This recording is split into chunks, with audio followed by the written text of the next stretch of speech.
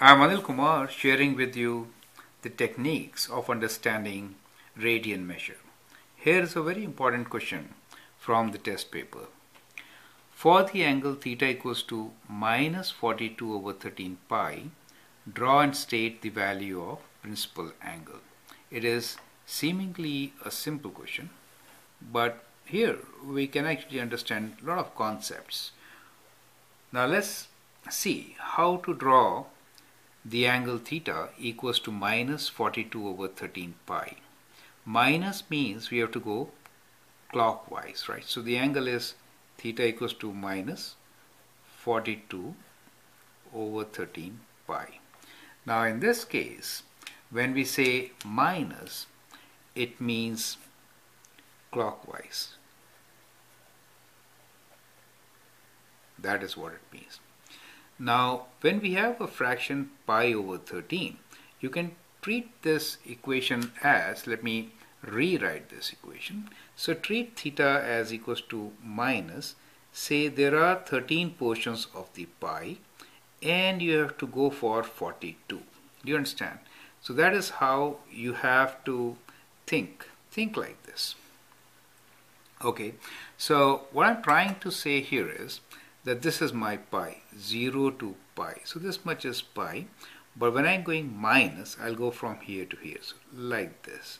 So if I go one half circle then it is pi by 13 that means I've divided this pi into 13 equal parts right? So that means 1 2 3 4 5 6 right? 6 full and 7th half right so 6 and then then 7, 8, 9, 10, 11, 12 and this becomes the 13th part, right? That is how it is 13.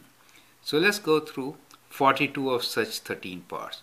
So that makes it 13, right? And then when we go like this, it is 2 times 13, which is 26.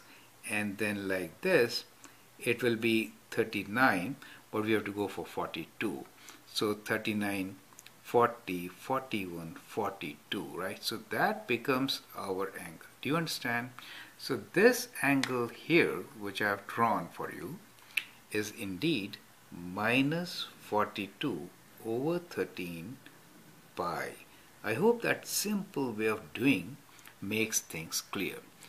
Now we need to state the value of principal angle. Do you understand? Principal angle. Principal angle is always measured from positive x-axis counterclockwise to the terminal arm. So that is the angle which we have to state. Now see, there are three here, one, two, three. So how many left? There are 13 in all. So the principal angle will be 10 pi over 13. Do you understand? So we get the principal angle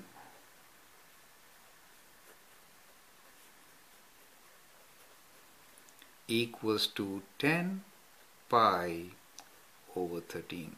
So that is how you're going to get the answer.